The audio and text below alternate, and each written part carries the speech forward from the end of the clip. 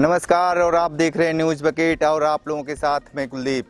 चुनावी दौर शुरू हो चुका है। दिल्ली से लेकर लखनऊ तक हलचलें मच चुकी हैं। गाँव से लेकर शहर तक चुनावी चर्चा जोरों पर चल रहा है। ऐसे में हम बात करेंगे ग्रामीण स्तर से कि गाँव के लोग क्या चाहते हैं और गाँव में जनप्रतिनिधि कितना काम कर रहे हैं। जी चाचा क्या नाम पड़ेगा? घूरेलाल। घुरेलाल जी क्या कर रहे हैं इस समय? यही मोटा काम कर जाता और मोटा काम। आजकल क्या चल रहा है? काम धाम कैसा चल रहा है? मंदा चलत। मंदा चल रहा है। मंदा चलत। प्रधानमंत्री नरेंद्र मोदी ने सबको आवास देने की बात कही थी शौचालय देने की बात कही थी। क्या आपको शौचालय आवास मिला है? आवास नाम हो शौचालय है। शौचालय है। अच्छा राशन मिलता है कि नहीं आपको? मिलला। मिलेला। कितना मिलेला? पैंतीस किलो। पैंतीस किलो। ललका कार्ड हो का उजरका है। रिज़र्व का हाँ। और भी हैं इस तरीके से ये लोग काम करते हैं मेहनत मजदूरी करते हैं और भी लोग हैं। क्या नाम पड़ेगा चाचा? राम लोचन राम लोचन जी क्या करते हैं? ये लेबराना काम करते हैं। घबराना काम करते हैं। अ, योगी आदित्यनाथ की का कार्यकाल के बारे में थोड़ा बताएँगे? हम नहीं बता पाएगा हैं? अच्छा आपके गाँव में प्रधान जी काम उम किए हैं? अभी तो नया प्रधान हुआ। अच्छा उसके पहले वाले प्रधान? उसके पहले वाला तो कुछ नहीं करा। अच्छा अच्छा। इस नए वाले प्रधान से क्या उम्मीदें हैं आपकी? ये अब उसके पास मिला है अब जौन आगे करेगा। हम्म। अच्छा 2022 में किसका सरकार बन, देखना चाहेंगे? अब जिसको बताओ। खराब आपके लिए कौन सा नेता सबसे अच्छा है? सबसे अच्छा था इसमें रास्ता वास्ता बनावे में अथवा करे में तो सबसे अच्छा वही यशमन है। कौन है? वो क्या नाम है वो उनका? हाँ, मोदी। अच्छा मोदी।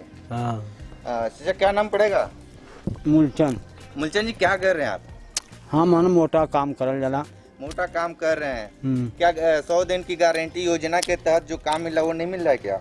ये संबंध देखा नया प्रधान बोलो हमन के मिलल ना लेकिन काम मिले वाला हो बहुत जगह लगल बा हमारे क्षेत्र में भाई हमारे ग्राम सभा में ना लगल हो। इस हमने मोटा पतरा कर रहे हैं। विधानसभा चुनाव आने वाला है। किसको मुख्यमंत्री देखना चाहेंगे? मुख्यमंत्री तो देखा बहुत जने रहना लेकिन ये घड़ी बाड़न आदित्यनाथ योगी अपने स्तर पर वो भी काम अच्छा करते हैं लेकिन थोड़ा हमन के गाय गोरू जितना हूँ किसानन बदे बड़ा परेशानी है।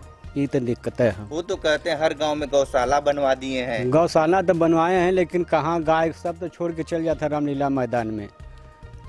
कहाँ वहाँ आरोप लगत बा कंधो नहीं हमन का खेती गृहस्थी सब बेकार हो जाती कितना कटैला तार हमन घेरल जाए उतना पूंजी ना न बा।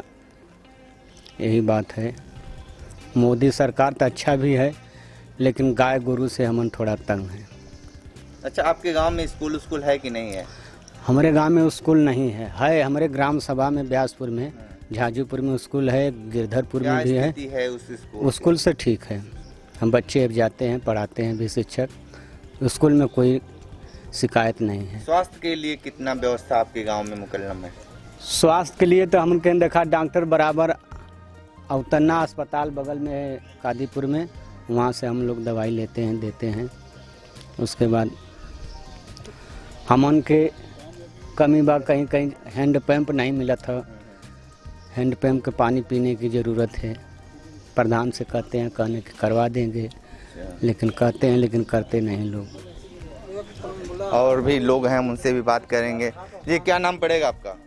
मेरा नाम गंगा प्रसाद चौबे है। हाँ, चौबे जी आपके गाँव की स्थिति क्या है इस समय? हमारे गाँव की स्थिति अच्छी है। लेकिन थोड़ा बहुत कहीं कमियाँ हैं जहाँ पे जहाँ लाइट लगानी चाहिए वहाँ लाइट नहीं लगा जहाँ रोड बनना चाहिए वहाँ पे गाँव गलियों में रोड नहीं है। यही सब है। स्वास्थ्य की व्यवस्था क्या है? स्वास्थ्य की व्यवस्था तो इतनी अच्छी नहीं है नॉर्मल है। दो हज़ार बाईस में किसको मुख्यमंत्री देखना पसंद करेंगे? हम तो लोग आदित्यनाथ योगी को देखना चाहते हैं जो भी प्रेजेंट में हैं और आगे भी 2022 में भी आए तो अच्छा रहे। जिससे और देश का अपने उत्तर प्रदेश का विकास हो सके। आपके अनिल राजभर मंत्री जी कितना काम किए हैं आपके क्षेत्र में? अनिल राजभर तो कोई काम नहीं किया इधर। तो फिर कैसे मुख्यमंत्री बनाएँगे? मुख्यमंत्री होने से अच्छा ये है कि हमारे उत्तर प्रदेश का विकास होगा क्षेत्र का विकास हो ना हो।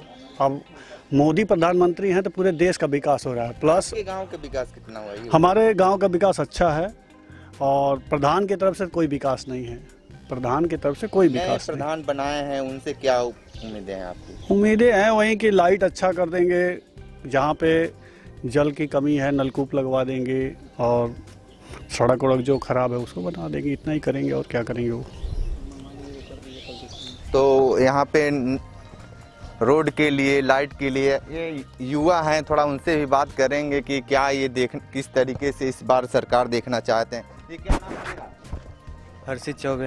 हर्षी जी युवाओं के लिए ये सरकार कितनी कारगर है? बेटर है। बेटर है? कितना रोज़गार दिए सरकार ने ये? रोज़गार के मामले में तो थोड़ा डाउन है। बेटर कर दिए बेटर इसलिए है क्योंकि नई शिक्षा नीति जो है अच्छी है। अच्छी है। हम्म। सबको शिक्षा मिलेगी। हम्म। आपको गाँव में कितने लोग पढ़ते लिखते हैं? परसेंटेज के मामले में। परसेंटेज के मामले में फिंगर बता सकते हैं। पचास। पचास हम्म। परसेंट पढ़ते हैं। और पचास लोग पचास परसेंट? नहीं पढ़ते हैं। नहीं पढ़ते हैं। सच बात है भाई कि पूरे गाँव में सभी लोग नहीं पढ़ते हैं क्योंकि प्राइमरी की स्थिति बहुत ख़राब हो चुकी है। तो हर लोगों के बच्चे प्राइमरी कॉन्वेंट में सर सभी लोग अपने बच्चे को कॉन्वेंट में ही पढ़ाना चाहते हैं लेकिन स्थिति थोड़ा सा डेंट पेंट हो जाने की वजह से थोड़ा सा इस समय का स्कूल साफ़ सुथरा हो गया। जी क्या नाम पड़ेगा? क्या करते हैं? मिस्त्री का काम। मिस्त्री का। कितना इस समय मजदूरी है आपकी? पाँच सौ रुपये। पाँच सौ रुपये। काम चल जाता है? कहाँ काम है? चार परिवार में तो कहाँ से काम परिवार से चल पाई? उतने में कहाँ हो पाई? अरे दवाइयों तो परेशानी आदमी बीमार से मार कहाँ हो पावल उतना से? खर्च ना सट पावा कोई भी चलत बात करत बा आदमी। 2022 में किसकी सरकार देखना चाहेंगे? ये मोदी है योगी बना ना हो सरकारी नहीं लोग को भी चलता बहुत ज़्यादा उम्मीदें हैं क्या आपकी?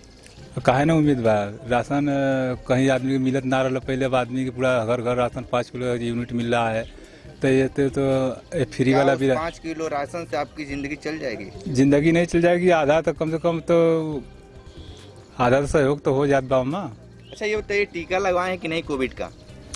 अभी तो नहीं लगवाए हैं। क्यों? गए थे भाई लगने का कोई इतफा नहीं हुआ। कहा कि भाई आया नहीं आ जाएगा तो फिर लगवा लेने के बेलाक पर लग रहा है हाँ? आपके गाँव की व्यवस्था क्या है इस समय? ये सोच व्यवस्था तो ठीक है अभी तो नया प्रधान बनो अब देखा का क्या करना उम्मीदें हैं उनसे? उम्मीद तो सब रखत बा कि अच्छा काम करिए देखिए अ, करो ना कि का करिए अब कोई तो भाई ज़रूरत का क्लियर ना भल बा। इधर के विधायक कौन से हैं? विधायक तो अनिल राजभर हूँ। कितना काम किए हैं? अब भाई कोनो काम न कल मेरा कुछ पता है ना पता कैसे जान ली। तो इस बार अगर वो क्षेत्र में आते हैं तो क्या उनको स्वीकारेंगे? अब कोनो काम ना कैले मान कोनो अथवा ना बा तो कैसे स्वीकार आदमी करी? जब जानकारी होत या कोनो काम कैले तो दिखात आदमी तो कुछ करत ओके विषय में बात सोचत तो देखिए भैया विधायक जी काम नहीं किए हैं। ये तो जान लीजिए कि आप आएँगे क्षेत्र में तो आपकी दुर्दशा बहुत खराब होने वाली है। क्या नाम है बच्चा राम बचन राम बच्चन जी क्या करते हैं? राजगिरी। राजगिरी। कितना पैसे मिल जाते हैं? पाँच सौ रुपये। पाँच सौ रुपये। खर्च चल जाता है पूरे परिवार नहीं नहीं चलता है। नहीं चलता है। हम्म। कहाँ मोदी का पैसा मिला था खाते में? पाँच सौ रुपये महीने आ रहे पीएम किसान योजना के तहत से। हम्म। हमन के को पैसा नहीं मिला। खेत होता है कि नहीं? अरे थोड़ा बहुत खेत बाई के खेत को। चाहे एक कट्ठा हो चाहे एक बीघा हो चाहे एक एकड़ हो सबको मिल रहा है। आप फार्म नहीं डाले क्या? फार्म डल लियो जब पास है ना भल तो हम कौन चीज़ बताएँ? आप देख रहे थे ये ग्रामीण क्षेत्र के लोग थे या सबकी समस्या विभिन्न प्रकार की समस्या थी। और हर लोग अपनी अपनी बात बेवाकी से बहुत अपने ये विचार रखे हैं। आप लोग देखते रहे न्यूज़ पैकेट। नमस्कार। भैया जनप्रतिनिधियों की बात करते हैं। क्या लगता है आपके जो जनप्रतिनिधि हैं वो कभी इलाके का दौरा वौरा करते हैं? कभी नहीं कोई दौरा करने नहीं आता इधर। इधर ना कोई समस्या पूछने आता है किसी का। कोई गरीब है ना उनका कोई कार्ड बनाने वाला है ना कोई सब अपना सब जेब भर रहे हैं सिर्फ़। भैया महामारी चली। हम्म। स्वास्थ्य को लेकर क्या लगता है यहाँ सरकारी क्या मदद मिली? सरकारी कोई मदद नहीं मिली इधर। अच्छा। सरकार की कोई मदद नहीं मिली। सब अपने अपने तरफ़ से अपना इलाज की अपना काढ़ा पीकर स्वयं स्वस्थ हुए और अपना इलाज स्वयं प्राइवेट में करा के स्वस्थ हुए। सरकारी से तो कोई लाभ नहीं मिला किसी को। मतलब जनप्रतिनिधि आपके ऐसे हैं जो जनता को उन्हीं के हाल पर छोड़ दिए। महामारी हाँ महामारी में भी। महामारी में भी कोई इधर देखने भी नहीं आया। 2022 में विधानसभा का चुनाव सामने खड़ा है। हम्म। तो अगर उनको मिलता है टिकट तो क्या लगता है जनता फिर से भरोसा दिखाएगी उन पर? जनता भरोसा करेगी लेकिन उम्मीद है कि उन लोग कुछ ऐसा गाँव घर में नहीं करेंगे। वो करेंगे तो सिटी में ही करेंगे। गाँव घर में तो नहीं कर पाएँगे तो कुछ। गाँव का विकास के लिए आप क्या मानते हैं? किसको ज़िम्मेदारी किसकी ज़िम्मेदारी तय होनी चाहिए? इसकी ज़िम्मेदारी तो खास करके प्रधान की होनी चाहिए। प्रधान की होनी चाहिए। उसके बाद जैसे जो जिला पंचायत हैं वो भी उनकी भी होनी चाहिए ज़िम्मेदारी थोड़ा बहुत। फिर उसके बाद विधायक का नंबर बाद में आता है। लेकिन जो गाँव का प्रधान है बहुत सा उनके पास धनराशि एकत्रित होता है। आता फंड भी आता है। लेकिन वो कहीं यूज़ नहीं करते सब अपने अपने जेब में डाल लेते हैं या कहीं और दिखा देते होंगे। लेकिन काम नहीं करते। 2022 में अखिलेश का दावा है कि इस बार अखिलेश की साइकिल चलेगी। क्या लगता है साइकिल चलेगी? हमें तो उम्मीद नहीं है साइकिल नहीं चलेगी बट कह रहे हैं तो उनको होगा पूर्ण भरोसा। हम आपके गाँव का दौरा कर रहे थे काफ़ी लोगों से मुलाकात की हमने। हम्म। तो ज़्यादातर लोगों ने सपा पर इस बार भरोसा दिखा रहे थे क्या लगता है भाजपा कहाँ खड़ी है? नहीं सपा पे भरोसा कुछ लोग कर रहे हैं लेकिन सपा पूरे उत्तर प्रदेश को नहीं चला पाएगी।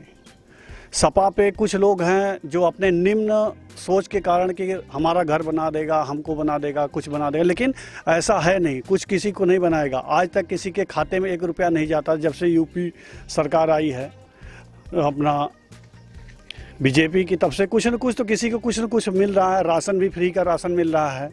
लेकिन पहले ना कोई इसकी, किसी को राशन मिल पा रहा था, ना कुछ मिल पा रहा था। अभी तो 500 एक हज़ार रुपया जिसने फार्म भरा है, ये प्रधान का दायित्व होता है कि अपने जो गाँव के 60 साल के व्यक्ति हैं, उनका भी फार्म भरवाया जाए और उन्हें उसका लाभ दिया जाए। लेकिन जब प्रधान एक्टिव नहीं होगा तो कुछ फ़ायदा गाँव के लोगों को नहीं हो पाएगा।